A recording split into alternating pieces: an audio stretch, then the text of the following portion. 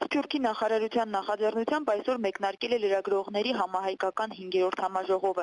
Առաջին անգամ այն անց է կացվում Լեռնային Ղարաբաղի Հանրապետությունում։ Համաժողովի մասնակից Սփյուռքի մոտ 100 լրատվամիջոցների ներկայացուցիչներ, նաև լրագրողներ Հայաստանից եւ Արցախից առավոտյան նախ այցելել են Ստեփանակերտի ազատամարտի զոհերի հուշարձան։ Համաժողովի բացմանը ներկա են եղել Լեռնային Ղարաբաղի Հանրապետության նախագահ Բակո Սահակյանը, Արցախի թեմի առաջնորդ Պարքև arczepiskopos Մարտիրոսյանը եւ այլ պաշտոնատար անձինք։ 21-րդ դարի մարտահրավերները, տեղեկատվական անվտանգությունը եւ հայ լրագրությունը։ Այս խորագիրն է կրում համաժողովը։ Բակո Սահակյանը դրական է գնահատել միջոցառման անցկացումը Արցախում, նա կարևորել է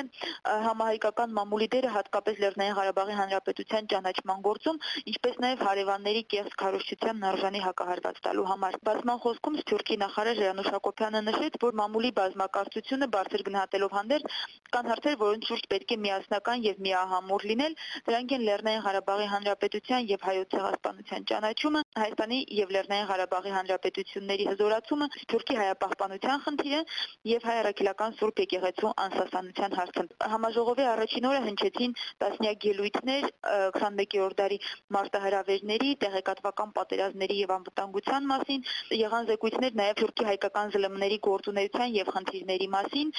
Նշեմ, որ գլխավոր զեկուցողների մեկն էր Երկիր մեդիա հեռուստաընկերության գլխավոր տնօրեն Դավիթ Հակոբյանը։ Համաժողովի մասնակիցներն այսօր հանդիպել են նաև Լեռնային Ղարաբաղի Հանրապետության պաշտպանության բանակի ղեկավար Մովսես Հակոբյանի հետ։ Նախարարը ներկայացրել է բանակի կազմավորման օղին, նրա հզորացման ճանապարհը։ Մովսես Հակոբյանը նշեց, որ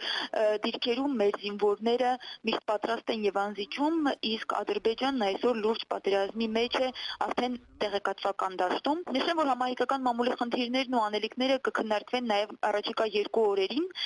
Լրագրողների համահայկական 5-րդ համաժողովը կշարունակվի մինչև հոկտեմբերի 16-ը։ Լուսինե Ղարիբյան, Երկիրն այսօր, Լեռնային Ղարաբաղի Հանրապետություն։